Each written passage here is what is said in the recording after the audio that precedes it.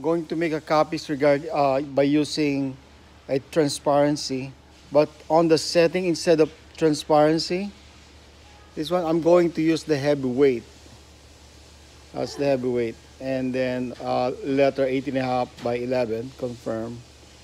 And then uh, I just put I just put it on the bypass. I'll just hit copy and using tray 5 and save and then make copy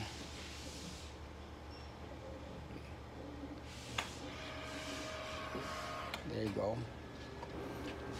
I already tried a while ago by using that one and uh, that's that's the result. It looks fine with me and I don't think there will be an issue.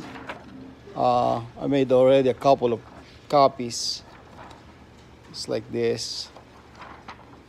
Now trying to make another one. There you go that's the paper. That's the, the transparency. No, there you go. So it went through without a problem. So that's the printout.